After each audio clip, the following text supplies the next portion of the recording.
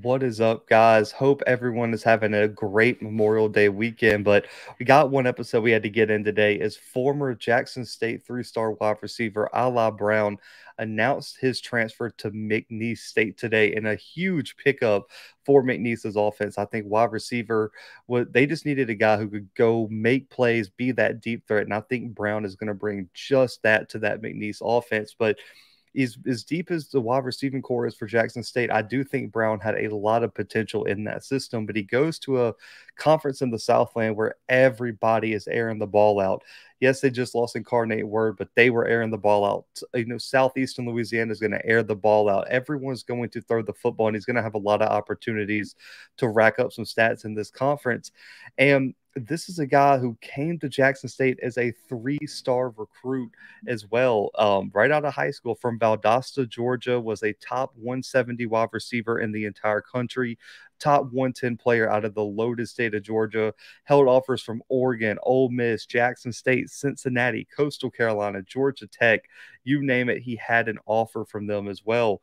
And coming out of his junior year, man, over 1,200 yards receiving, 63 catches, nine receiving touchdowns of that for his senior year in his junior season 61 catches over 1100 yards and another eight touchdowns had over 2200 career yards on offense while as a junior playing both ways as well with almost 100 tackles with 87 tackles playing both ways. Also played on special teams was a dynamic kick and punt returner for Valdosta as well a very very versatile athlete man and he the speed the athleticism, the playmaking ability, the ability at his size to go up and get the ball in one on one coverage are all things that I think McNeese is going to utilize going into next season. And looking at this McNeese roster, where can where can Brown fit in?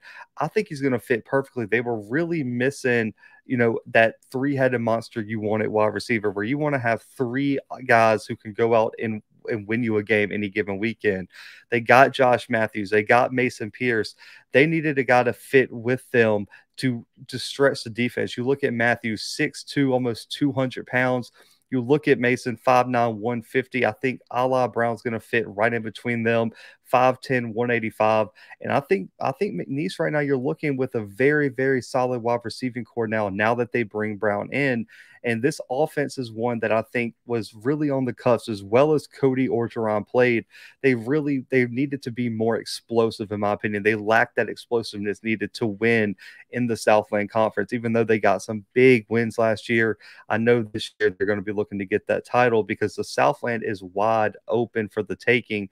Now that former that now that last year Southland champion Incarnate Word is in the WAC, Southeastern Louisiana loses a player like Cole Kelly, now giving Cephus Johnson is going to be really, really good. But I really do like McNeese right now going into next season. I think when you look at the quarterback situation, they're probably going to go with Walker Wood at quarterback, a transfer out of the University of Kentucky, was a Kentucky all all district selection was the Kentucky player of the of the year, all Kentucky football offensive player of the year. He won every single award that you could and he finished his varsity career with over 8200 passing yards, 74 touchdowns and 73 touchdowns just rushing.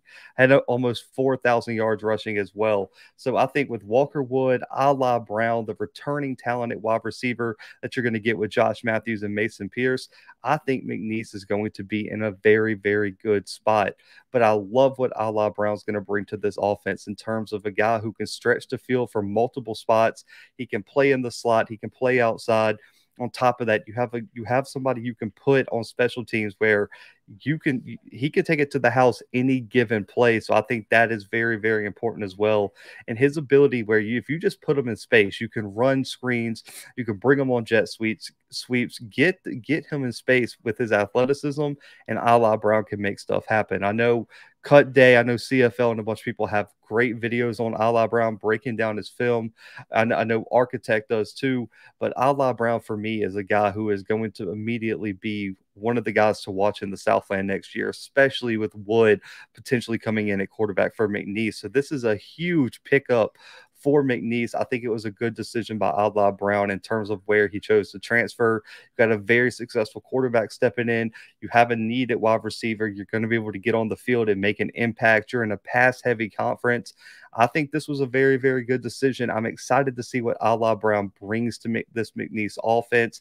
And for me, and next year McNeese could be a dark horse for the Southland, which I think is going to be extremely interesting. But guys, comment below what you think of Aalah Brown announcing his transfer to McNeese.